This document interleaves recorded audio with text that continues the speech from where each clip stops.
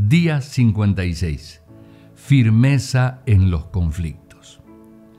Leemos en Romanos 8, 28, y sabemos que a los que aman a Dios, todas las cosas les ayudan a bien, esto es, a los que conforme a su propósito son llamados.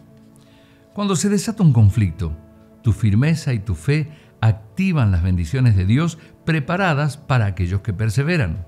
Aquellos que creen en las promesas de Dios, descansan en su fidelidad y mantienen firme su fe en Jesucristo, verán victorias muy poderosas. Todas las cosas ayudan a bien a aquellos que han sostenido su fe y esperanza hasta el final. Cuando Jesús supo que Pedro pasaría por conflictos, oró para que su fe no falte, porque sabía que después de superado el problema, él tendría tal peso espiritual que podría ayudar a sus hermanos a mantenerse firmes.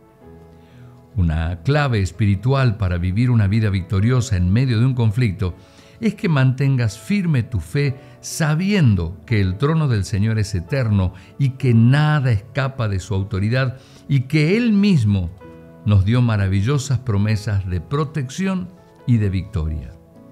Las promesas sobre las cuales se basa nuestra fe son seguras porque fiel es el que las dio.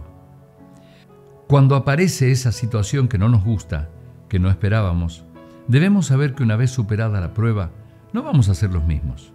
O estaremos mejor con un mayor peso de gloria, con una fe más sólida y con el testimonio de una gran victoria, o estaremos derrotados y con menos fuerzas. Si nos mantenemos firmes en la fe, la palabra nos asegura en el versículo 37 que somos más que vencedores por medio de aquel que nos amó. Oremos de esta manera. Señor Jesús, ayúdame a confiar, a creer, a que nunca mi fe falte, aunque la tormenta sea fuerte, a pesar de que no entienda tu propósito al permitirla. Sé que estás a mi lado a cada paso. Por eso decido confiar y descansar en vos para siempre. Gracias Señor, porque de tu mano siempre saldré triunfante en cada prueba. Amén.